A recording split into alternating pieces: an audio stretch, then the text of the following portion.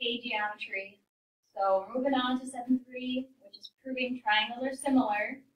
Before we do that, I just want to make sure we know the difference between triangles that are congruent and those that are similar, okay? So the congruent triangles is a review from before.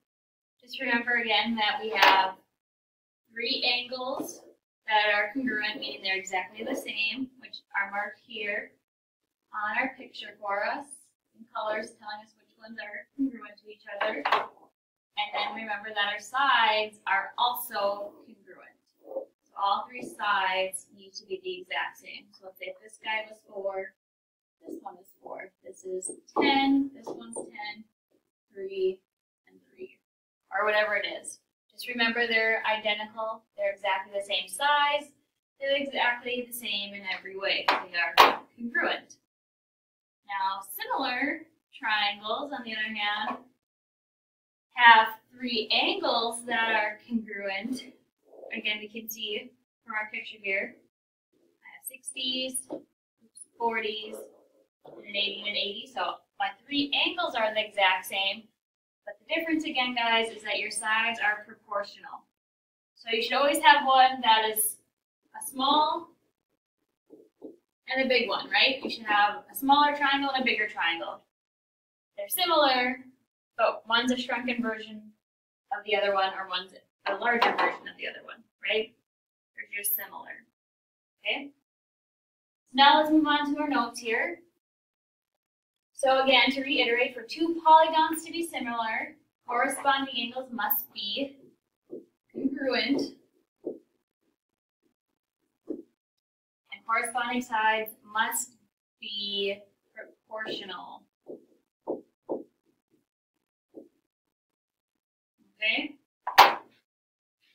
So, kind of back to last chapter when we were proving triangles are congruent, we had shortcuts. We kind of have the same thing here.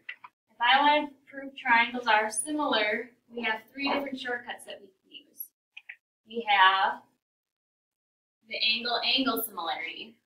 So for you to write that as a shortcut, again, just be angle-angle, because that's AA, stands for angle-angle, and similarity sign. So I have two triangles, and they have two angles that are congruent, so the exact same, then those two triangles are similar. Okay, the next shortcut, side angle side, but this time remember it's not congruent, they're similar, so side angle side, similarity. So that means I need to have two sides that are proportional. So let's say this one is 1 and this one's 2. Here's my other side. Let's say this guy is 3, this one would have to be 6. And then the angle between those two proportional sides are congruent. kind of like before, side angle side, but your sides aren't the same length, they're proportional. Okay, and then the last shortcut we have is the side, side, side similarity. Again, side, side, side similarity. So all three of your sides are proportional. Okay? So let's say I made this guy one, two, and three. And we'll say this one is four times as big as the smaller one. So the leaf size would be four, eight, and 12. It's just a bigger version So now let's practice identifying these. So maybe on the top of your paper, I'd write we have angle, angle similarity, uh, side, angle, side similarity, and side, side, side. The other shortcuts that we learned about before don't work. It's only these three. Okay, so number or number A, are the two triangles similar? How do we know? Let's first look at what they're giving us angle R is congruent to angle N. And then I have two right angles which we are congruent, so yes. By angle, angle, similarity. Now let's go on to B. Are these two triangles similar? Well, again, we're just given a bunch of angle measures, so let's find the missing ones to see. So 40 plus 80 gives me 120. What's left over? 60 degrees. Down here, forty-five 40, 85. And then we take that away from one eighty and we get ninety-five. So do I have angles that are congruent here? Well, I have one pair, but I need two, so that's not enough, so no. Triangles are not similar.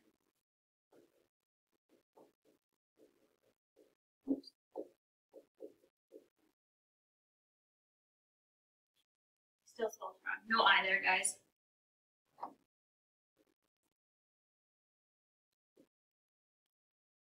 Okay, let's try another one. So now this time we're given sides, so remember sides need to be proportional.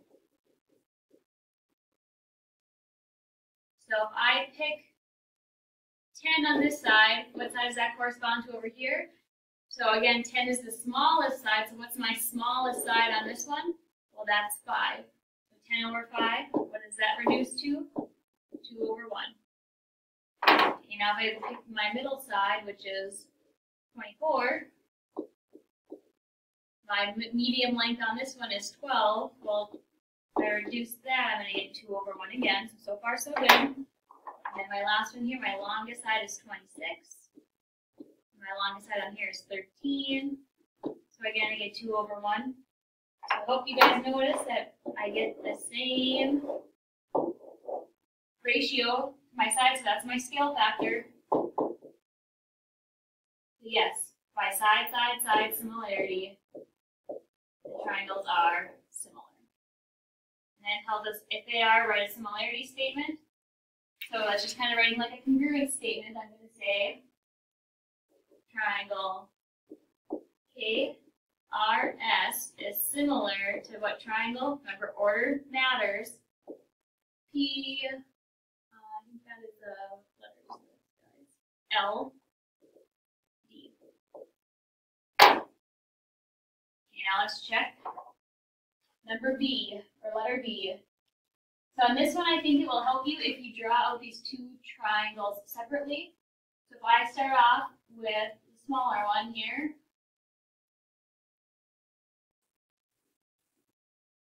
S-U-T, I know this guy is 12, and this one is 10, and that one's 12.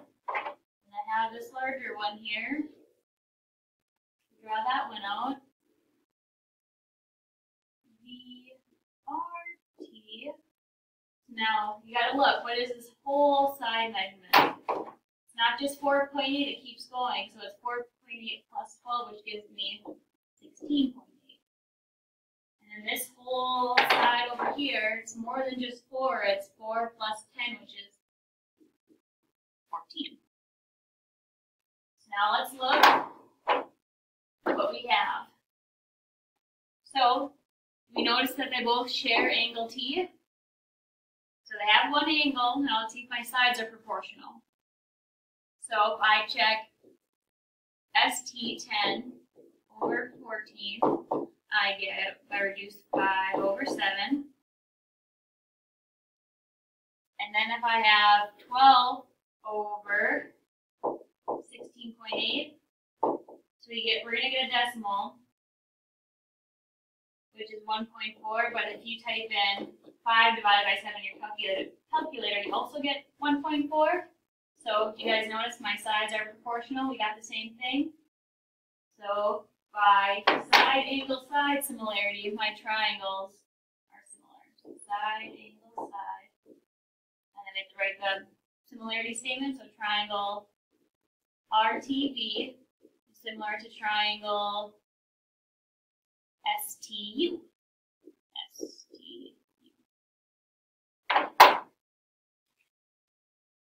All right, same thing here. Determine if they are similar, if so, write a similarity statement, and then explain our shortcut. All right, so let's see what they give us. I have a 30 degree, 30 degree, and a right angle, and a right angle.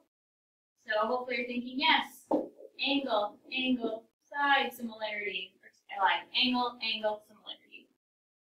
And then remember to answer the question, write a similarity statement. Triangle ACB similar to triangle C, with C, so X, Y.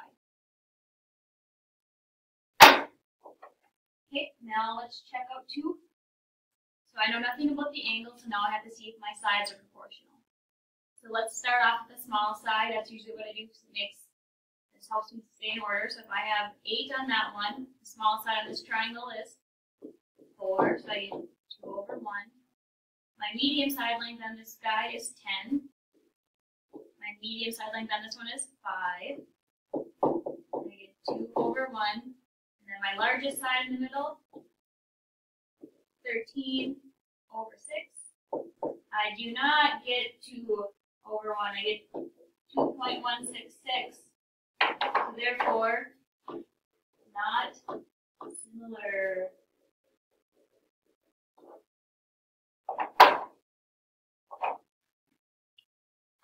Okay, now looking at these two triangles on three, we notice hopefully that you're thinking they're equilateral, right? And we know that all equilateral triangles are or are similar. So yes, by side, side, side similarity, triangle QEU similar to triangle SIO. Just know that all equilateral triangles are similar.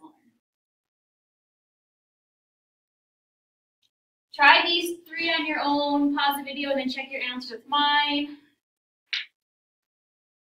Okay, I'm gonna go over the answers now. So on number four, if we find our missing angle here, I find this to be 110. If I find my missing angle in this one, I find it to be 50. So yes, angle, angle, similarity, triangle ABC, similar to triangle RST. Looking at number five here. So I'm given two sides and an angle, so let's look. I can see that angle M is congruent to angle K because they're both 70. Now let's see if our sides are proportional. So if I pick the smaller side on this one, I get 4, and on this one I get 2. So that reduces to 2 over 1. And this guy, if I pick my larger side, it's 6, and my larger one on that one is 3, which also produces 2 over 1. So yes, by side, angle, side, similarity, they're similar. No, I hope you guys caught that. You guys see how this angle here is not in the right spot? It's supposed to be side, angle, side, whereas on this triangle here, it's not the included angle. So no, not similar maybe make a note. It's not the included angle, or not the right angle.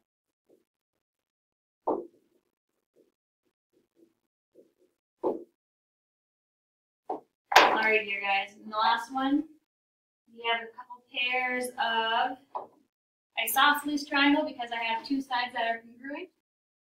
So we know that the base angles of isosceles triangles are the same. So we can find out what that is. If we call this guy x and this guy x, then I know that 180 has to equal 40 plus x plus x. So 180 equals 40 plus 2x. Subtracting over, and I divide. So I find these angles to be 70.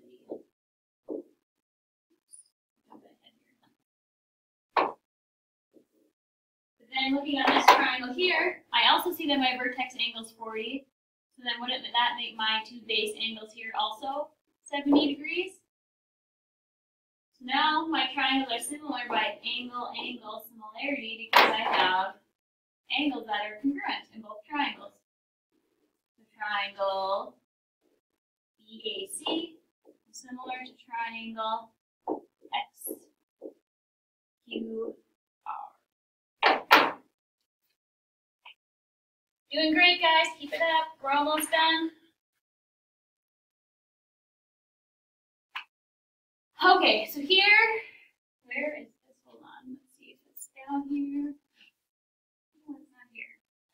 Okay, this thing is up on the top of your notes, but let's look at it. It says essential understanding. Sometimes you can use similar triangles to find lengths that are not easily measured using a ruler or other devices. So the trick to this is called an indirect measurement.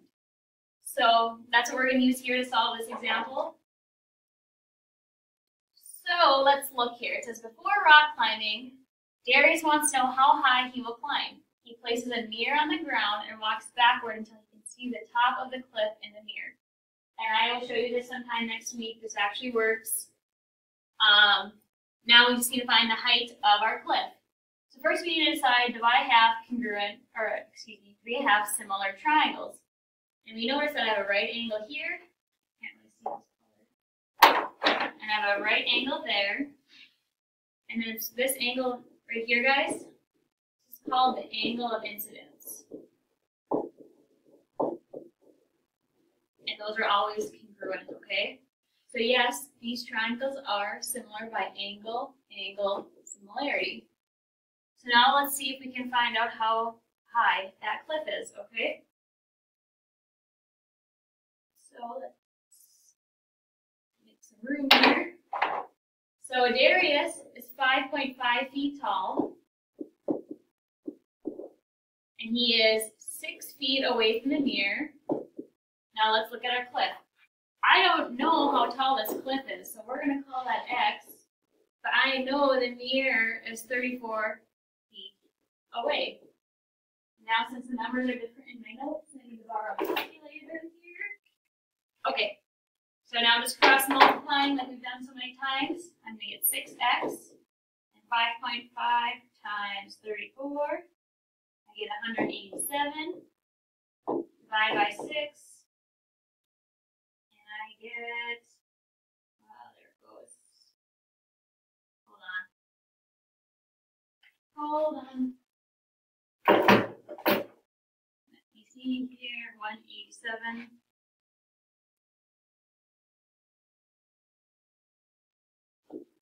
Thirty-one point one three feet.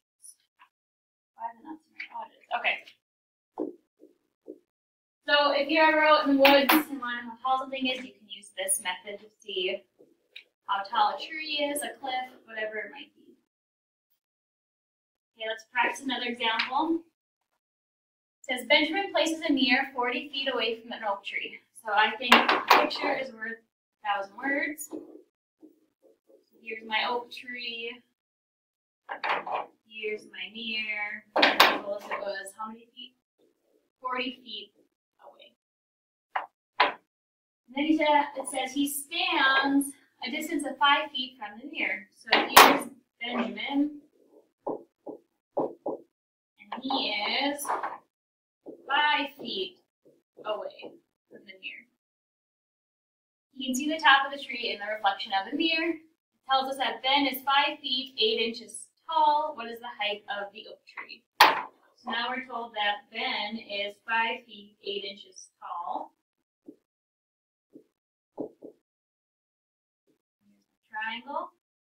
And then we want to find out how tall our oak tree is. So this becomes our variable. So here we have a right angle. Here's our right angle there. And remember this angle of incidence, guys, they're congruent, so I have similar triangles.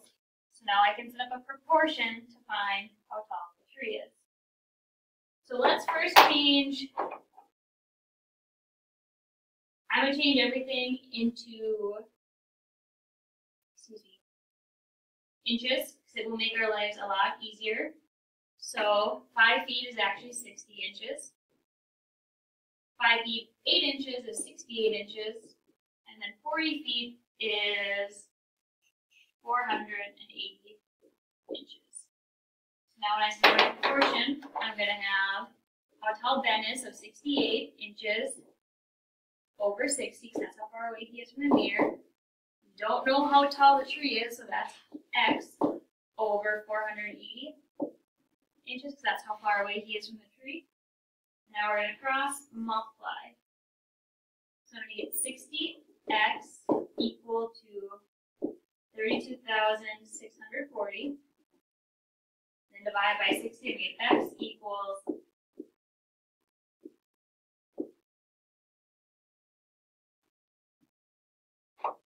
equals 544 inches. So since we don't typically talk in inches in that um, large of a number, well, how many inches are in a foot? 12. So we take this guy divided by 12 and get 45.33 feet. That's how tall our tree is. So again, draw a picture will help you set up the proportion, and then you just solve like we've been doing. Now our last one today, it says, why are the triangles similar? If they are, solve for x. Well, I'm going to be honest, guys, they're going to be similar. So let's figure out why they're similar. So if I look, I have a small triangle and this larger one again. So if we notice here, so now we can see where they are, you guys see how they share that top angle there? And then we have parallel lines, and I hope you're thinking, oh, I know parallel lines create certain kind of angles. Well, this angle here and this one here are called corresponding, right? And we know that they are congruent. So yes, by angle, angle similarity, my triangles are congruent. Oops. Now let's solve for x here. So if I focus in on that smaller triangle, I know that this bottom side here, x plus 2 corresponds to x, my, um, x plus 14 on the larger one. Okay, now if I look at this side here, my small one, 10, I know that corresponds to this whole side here. So what is that whole side? It's 10 plus x. 10 plus x. Now we just cross multiply like we've done before. So let's start with the easy one. I'm going to get 10 times x plus 14. And then this side here, I'm going to have x plus 2 times 10 plus x. This is kind of a doozy, but it's all right. We can handle it. So on this left side here, let's distribute. We get 10x plus 140 equal to, now I hope you guys remember from algebra, we're going to have to FOIL. Remember what FOIL means? Take my first times each other, so I'm going to get 10x. And I'm going to take my outsides times each other. x times x is x squared. My insides, 2 times 10 is 20, plus your last 2 times x is 2x. All right, now let's just simplify here. Don't freak out. The left side stays the same for now. And let's just combine like terms over here. We have an x squared. Now I'm going to combine these two terms. So 10x plus 2x is 12x plus 20. Now, how do we remember how to solve a quadratic? We need to get, we need to set our equation equal to zero. So let's bring everything to the right side. So let's subtract 10x from both sides. And left with 140 equals x squared plus 2x, because 12x minus 10x is 2x plus 20. And then subtract 140 140. So then finally I have my equation 0 equal to x squared plus 2x uh, minus 120. Okay, so far so good. Now you can either use the quadratic formula, but just to kind of save time, I'm going to help you FOIL it. So remember, or factor it, I should say. I know I'm going to have an x and an x. Now I have to think of two numbers that multiply to negative 120 and add to 2. So when numbers end in a 0, I'm going to always think 10. Well, what times 10 gives me negative 120? 12 does, okay? So I know I'm going to have a plus and a minus because one's going to be positive, one's going to be negative. But when I add those two numbers up, they have to equal positive two. So I know the positive has to be the bigger number, giving me a positive twelve and a negative ten. Okay, then remember we gotta set these guys equal to zero. So x plus twelve equals zero, x equals negative twelve, x minus ten equal to zero, x equals ten. And I have a negative distance for my triangle side. And this b right here, guys, negative twelve. No, it can't. That one goes away, leaving us with x equals ten. I know that got long and I really apologize. I hope you have a great weekend. I hope you're also very good from Mrs. Colmeyer right now. Um, we'll see you Monday. Have a good rest of your day.